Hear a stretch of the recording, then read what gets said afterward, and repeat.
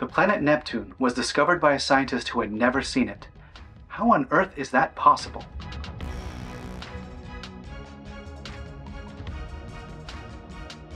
This is the discovery of Neptune.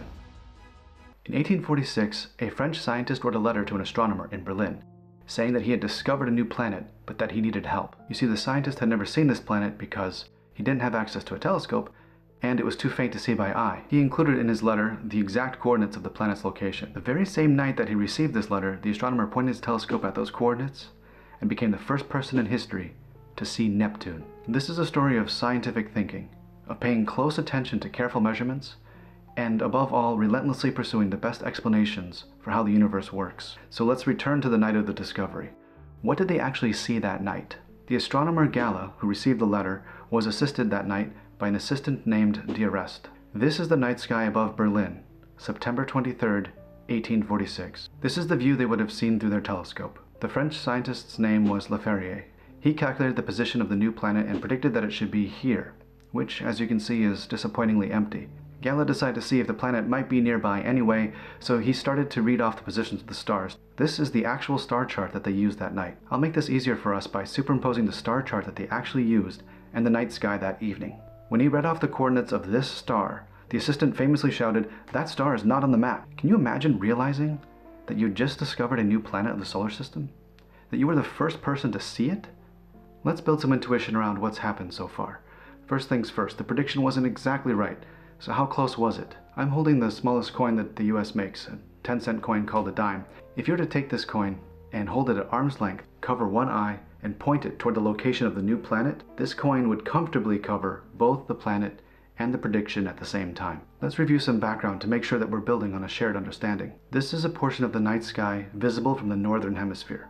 Many civilizations have connected the stars into constellations. Additionally, there are a few points of light, just a handful, that move. In fact, they appear to wander around the sky. This is where the name planet comes from. These planets have been known and tracked and worried about for thousands of years. Let's do a quick roll call, starting with the Sun. We next have our familiar planets, Mercury, Venus, Earth, whose average distance from the Sun, about 93 million miles or 150 million kilometers, we give the special unit 1 astronomical unit, or AU for short. I'll be using this for the remaining orbital distances. Moving on, we have Mars, Jupiter, and Saturn. These planets had all been known since antiquity. I'm showing here the night sky as seen over Bath, England on March 13th, 1781. What astronomer William Herschel saw over several days, completely by accident, was a new point of light that was moving against the celestial sphere. It took a couple of months to realize that it was a new planet, that they eventually gave the name Uranus. Before Uranus, Saturn was the farthest known planet from the Sun at roughly 10 AU, or 10 times the distance from the Earth to the Sun. Uranus doubles the size of the known solar system and comes in at roughly 20 AU.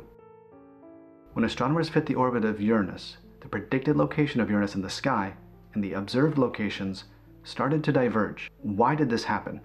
The answer is Neptune actually exists and exerts a gravitational pull on Uranus. So if your model of the solar system doesn't include Neptune, you will calculate the wrong orbit for Uranus.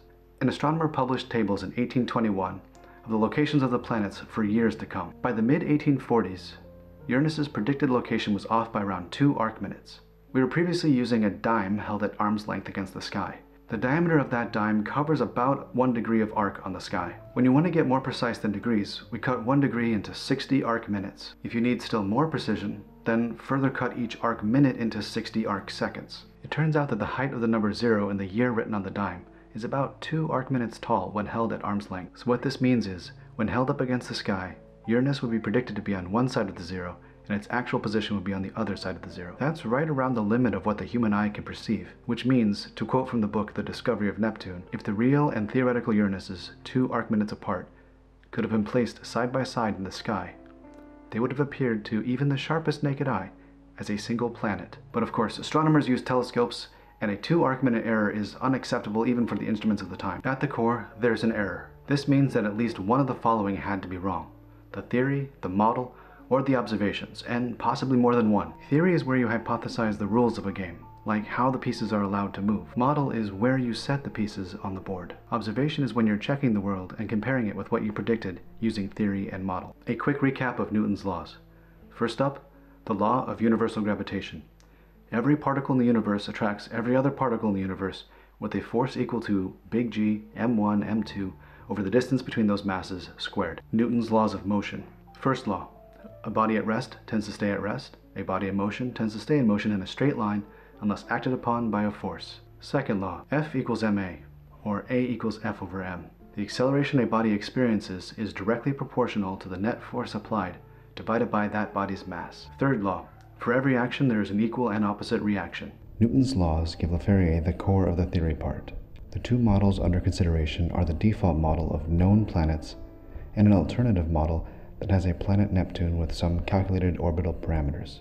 I'll play through this simulation a few times. The top plot shows the magnitude of the force on Uranus due to Neptune.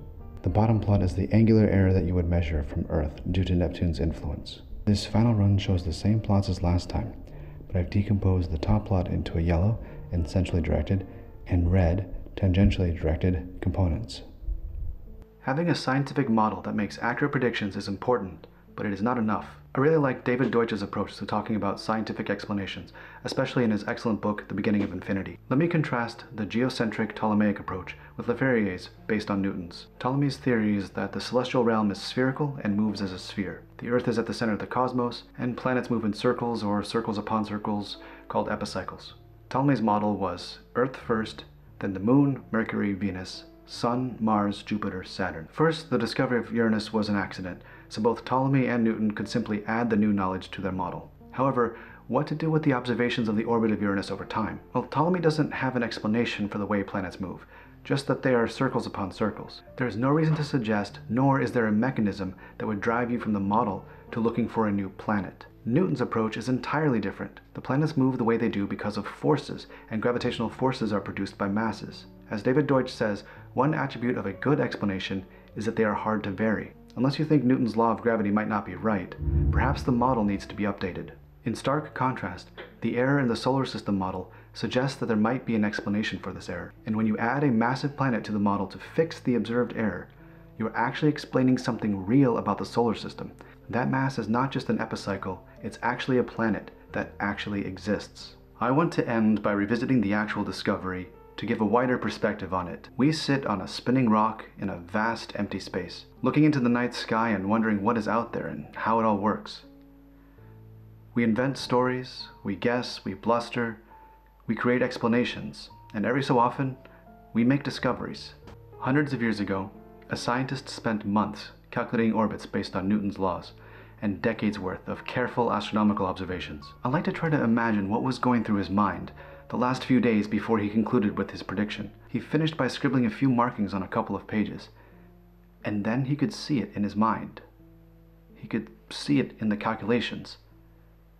He could see it in the tiny irregularities in the motion of the planets. He imagined that he had found a whole new world and knew where it was. And he was right.